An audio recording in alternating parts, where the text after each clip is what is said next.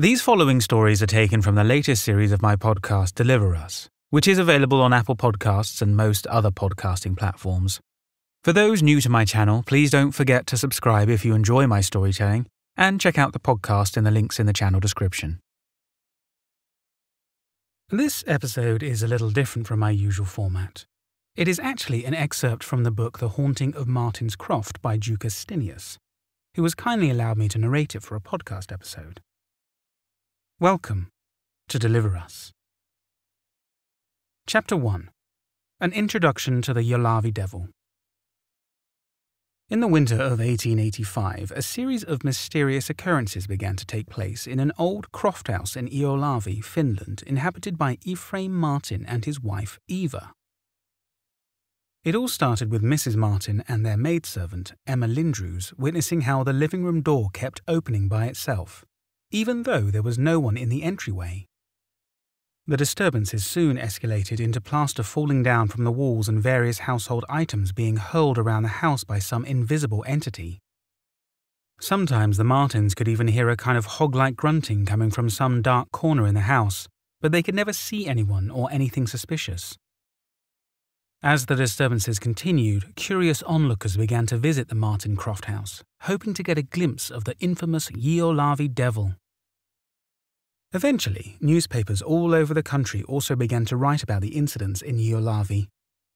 Articles about allegedly haunted houses had been published in newspapers before, but never before had one single case garnered such nationwide attention.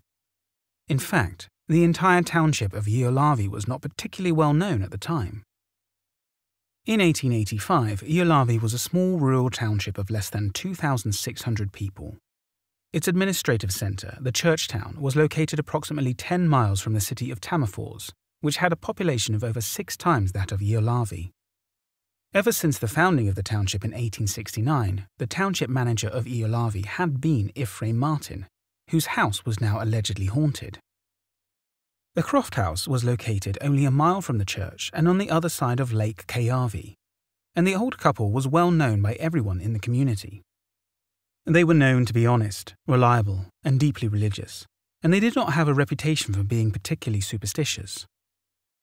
There seemed to be no motive for the Martins to lie about the disturbances, and as more people visited the house, it became clear that something else was going on. Dozens of people who visited the Martin Croft house could later swear that whatever it was, it was not a hoax, that whatever they had witnessed was caused by some unknown, incomprehensible force. As word about the mysterious occurrences in Ylöjärvi spread to the neighbouring townships and the city of Tammerfors in particular, the number of the so called devil onlookers grew even more.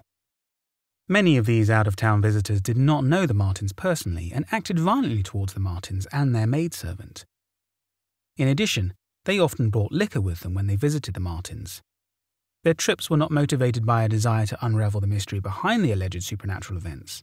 For them, it was all about having fun with absolutely no regards to what they were doing to the Martins. Sixteen days after the haunting had started, the disturbances suddenly ceased. Eventually, the stream of onlookers also dried up.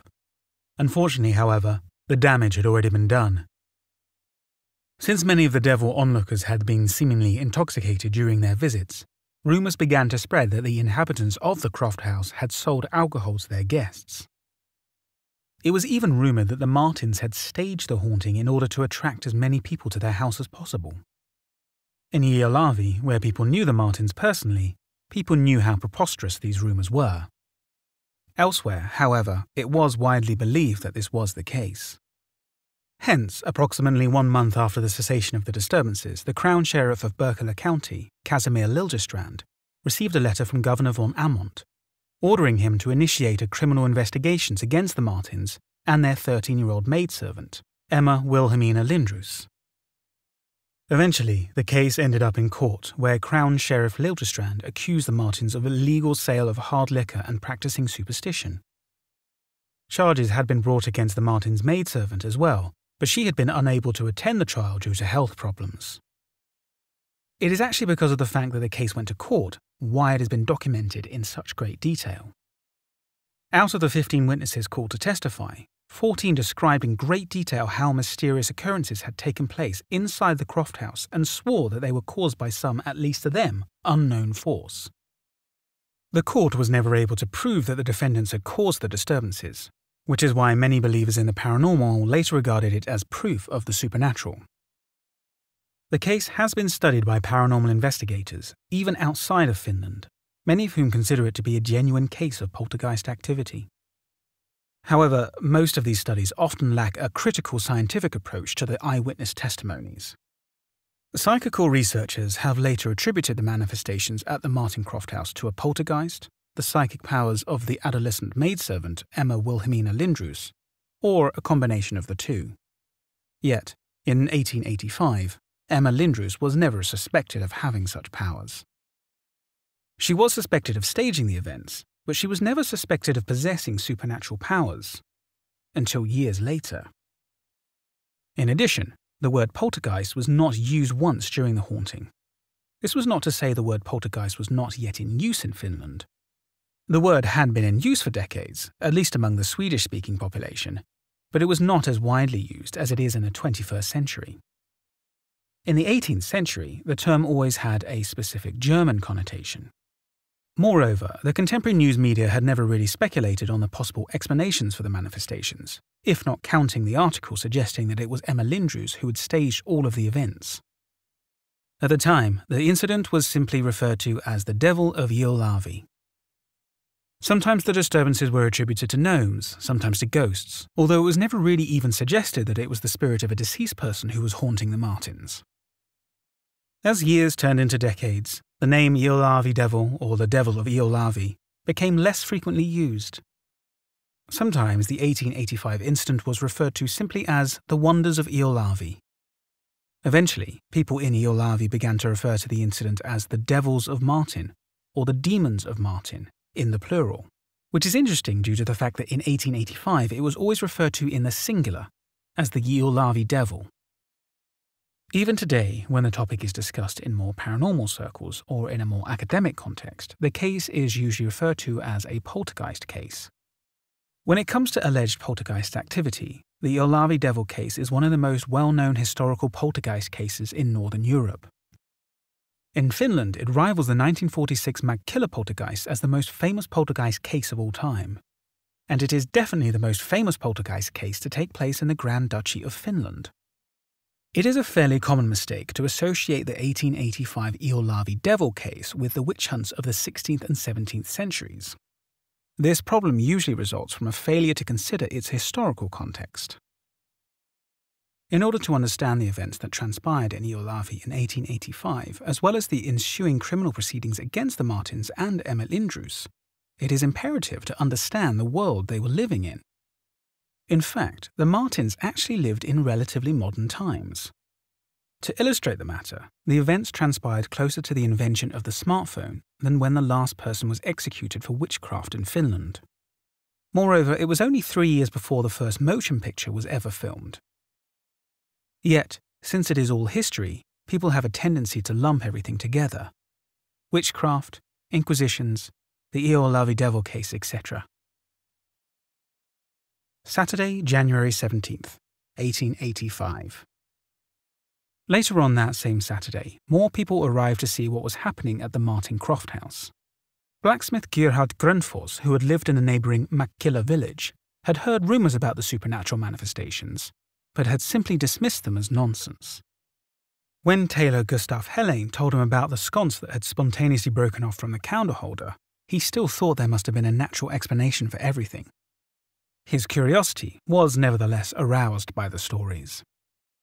Hence, on that Saturday night, he decided to go with Taylor Helene to the haunted Croft House to see what was going on.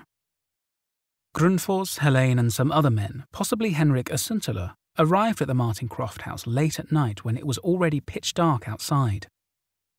In the living room, they found Emma Lindroos, the Martins, and Rustula Ephraim Erula, who had also come to visit.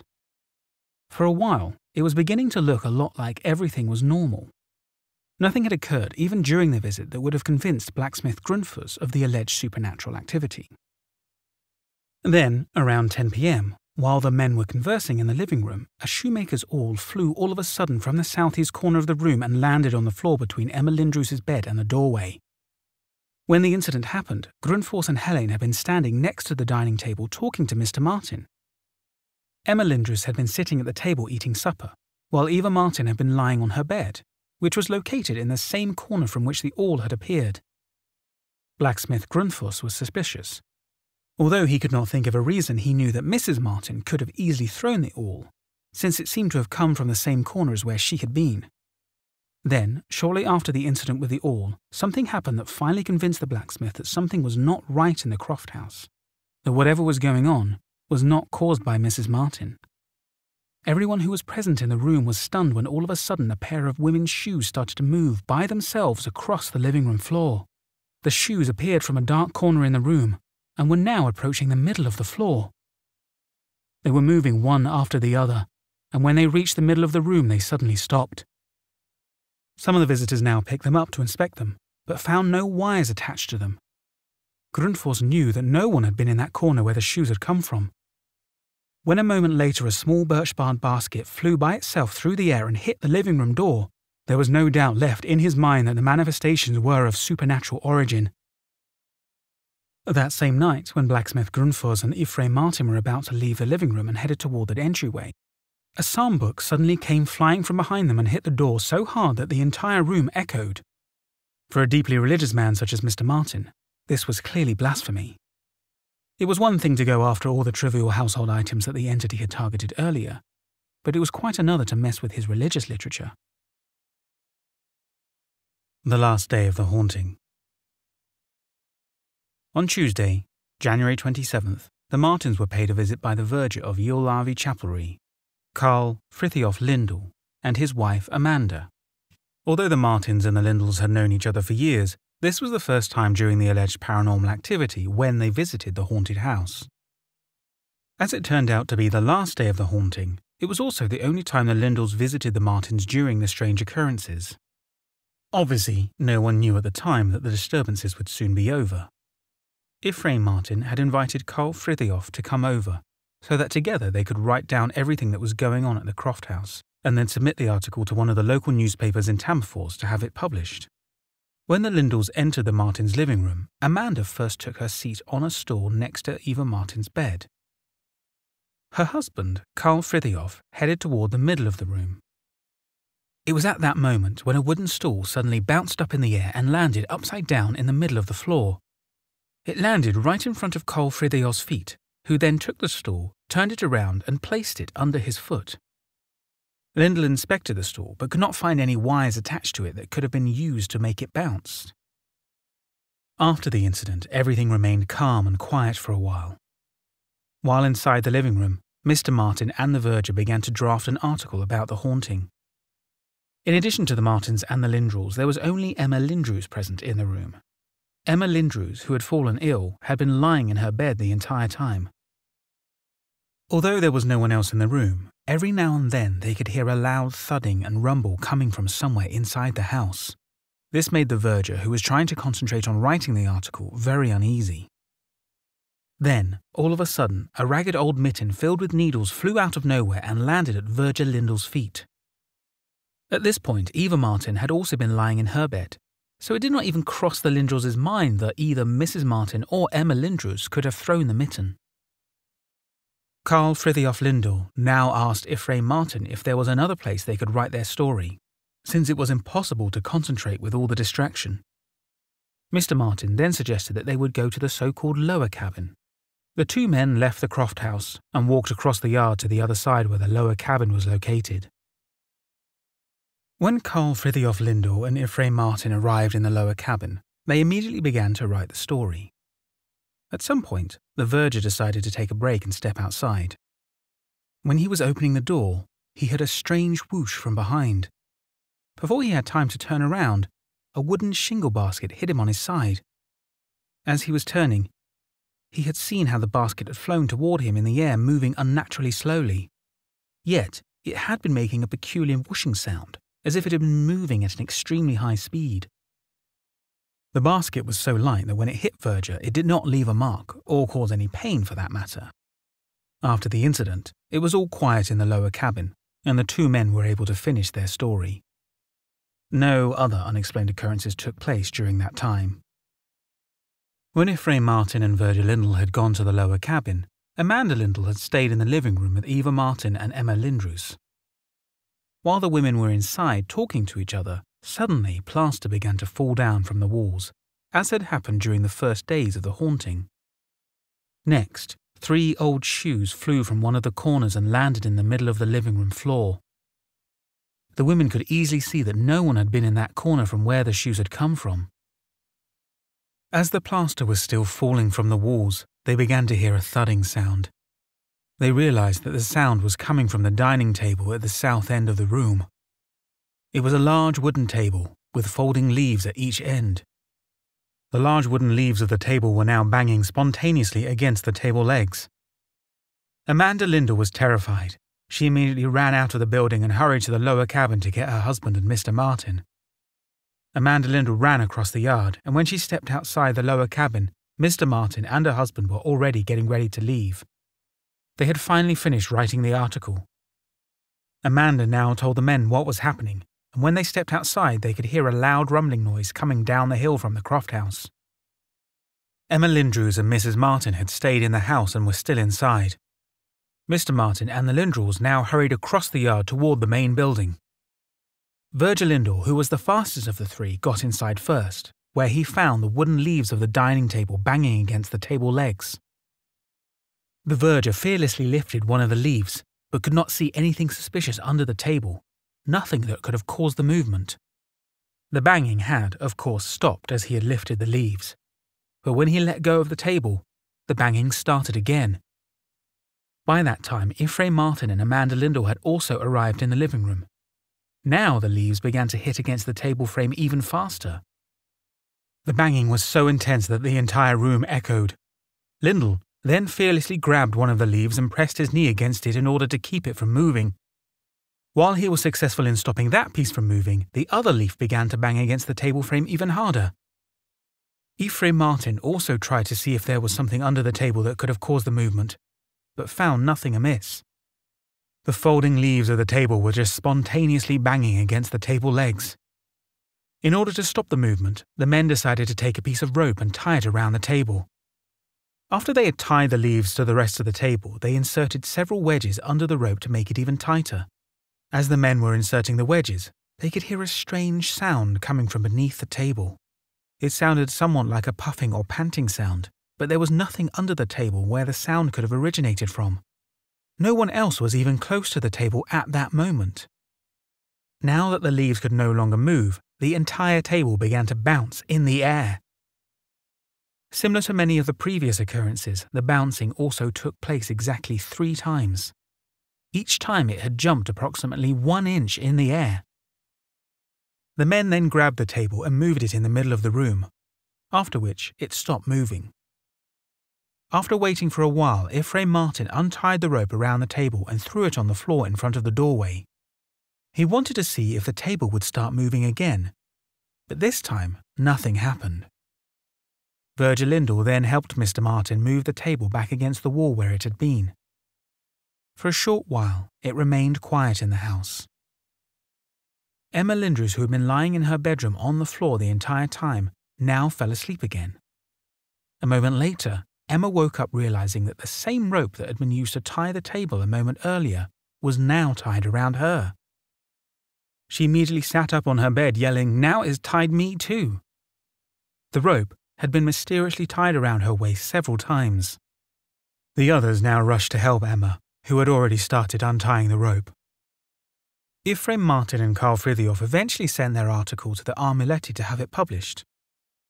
Although the Aamulehti was still reporting about the events in Ylöjärvi, it decided not to publish the one written by Martin and Lindell. For reasons unknown, the newspaper seemed to not be interested in hearing their side of the story. After the events witnessed by the Lindells at the Martin Croft house, the inexplicable occurrence ceased, and this time for good. There were, nevertheless, rumours that some incidences occurred even after that. For instance, on January 31st, the Tampereen Sanomat reported that the devil had returned to the Martin Croft house on January 28th, but it did not elaborate on the topic, and there is no record of what had allegedly occurred on that Wednesday. On March 26, 1885, it was also stated in the Tampereen Sanomat that according to the Martins, the last phenomenon at the Croft House was when a table was knocked on, and that took place on Tuesday, January 27th, which suggests that the incident involving Emma Lindroos and the rope was not the last incident that took place on that Tuesday.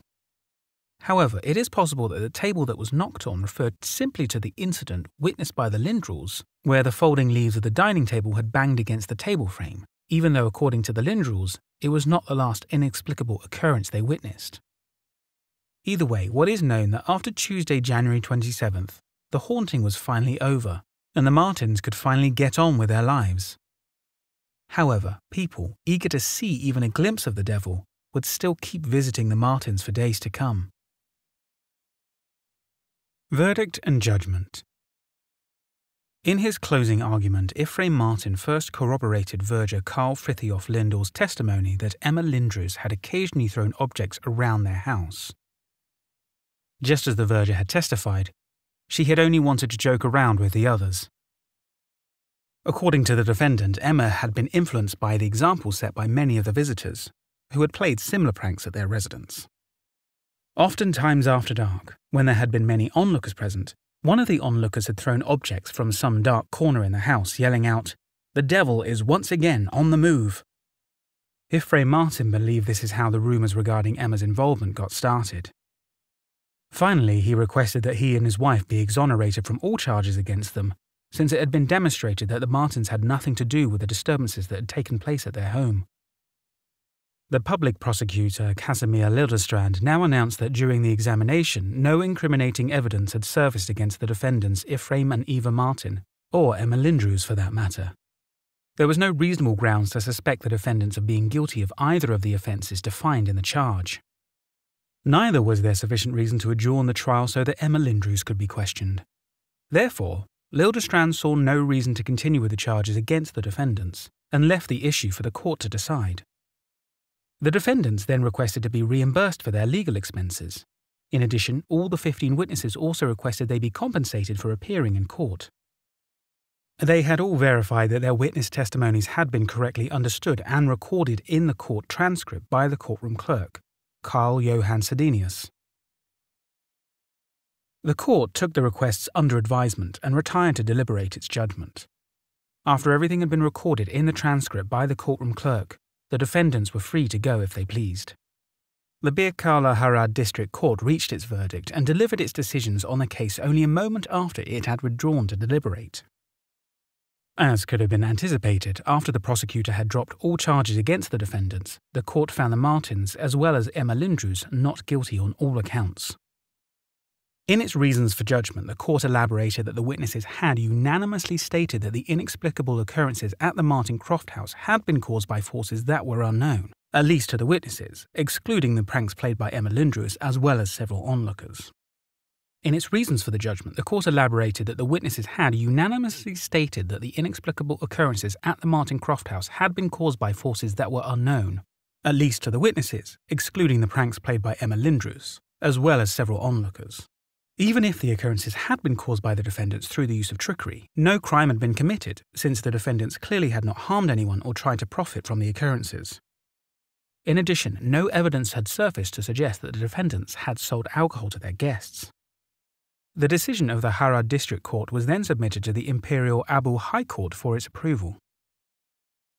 Reasons for the judgment The Harad District Court has taken the matter into final consideration and has found through the evidence presented and what has transpired during the trial, that it has been well demonstrated that in the Croft house inhabited by the defendants Ephraim and Eva Martin, on the Irola Rustwell's land in the village of Kiavi in this Ylöjärvi chapelry, during the time period from the 12th of January to the 28th of the same month, all sorts of disturbances had occurred, such that objects in the rooms had been hurled back and forth, the furniture had moved around and other such things, and that these movements and events would have been caused partially first and foremost according to the unanimously expressed conviction of the examined witnesses, by some, at least to them, unknown force, and, partially during the latter time of this time period, as pranks by the defendant Emma Lindroos as well as other people who had temporarily been present at the Croft House, who, however, were always ready to confess their pranks without trying to hide what they had done. However, since it has been proven that defendants had not been causing those incidents that were never confessed by anyone and were regarded as unexplained by the witnesses, or that these incidents would have occurred as a result of the defendant's incitement or with their knowledge and consent, and no better clarity on the latter circumstances can be obtained anymore, since no other persons than those who have already been examined under oath were present at the aforementioned Croft House at such times, when such events had been observed by the witnesses. Therefore, in the court's opinion, no crime against existing laws and regulations can be regarded to have occurred, even if the accused had committed such pranks by using secret hatches, hidden wires, or other tricks. And even less can the provisions in the Criminal Code's Chapter 2, Section 2 regarding witchcraft and superstition be applied to the present court case, since it has been demonstrated that the defendants had neither benefited from the events nor had they caused injury to others and neither had the defendants claimed to have employed the help of some supernatural force, as stated in the above mentioned criminal code provisions. Likewise, the accusation regarding illegal sale of hard liquor has also been found to have no basis. Therefore, the Harad District Court, which does not, under these circumstances, find it necessary to hear the underage defendant Emma Lindroos, whose contraction of a severe and life threatening illness has been legally verified, will dismiss all charges as completely unfounded. However, since the prosecutor had insigniated the prosecution ex officio and on explicit orders from her governor of the province, the Harad District Court cannot reimburse the defendants for their legal expenses, nor can it pay witness fees to the witnesses who were examined during the proceeding. However, this decision shall be submitted, according to Chapter 25, Section 5 of the Code of Judicial Procedure, to the Imperial Åbo High Court for closer examination, in which regard the transcript of the examination and judgment shall be written as soon as possible and sent, together with the original documents that were presented during the trial, to the Honourable Court. Announced upon convening, time and location above. On behalf of the Harad District Court, Werner Palander. Those were some long sentences. So this concludes the excerpt from the book The Haunting of Martin's Croft, the true story of the 1885 Ylöjärvi poltergeist by Jack Stenius. The book is available in paperback and Kindle edition from Amazon, so if you want to know the full story, go ahead and check out the link in the description to this episode. I would like to thank Jaku for allowing me to narrate this excerpt, and you, my listeners, for listening to this podcast. This concludes my first official season for this podcast. I will be going on a break from releasing new episodes whilst I research and write new stories for my second season. If you have a story you would like me to tell, please email me at mrsinisterstories at gmail.com. That's Mr. spelt M-R, sinisterstories at gmail.com. I do look forward to returning with more episodes in the fall. Thank you again for listening.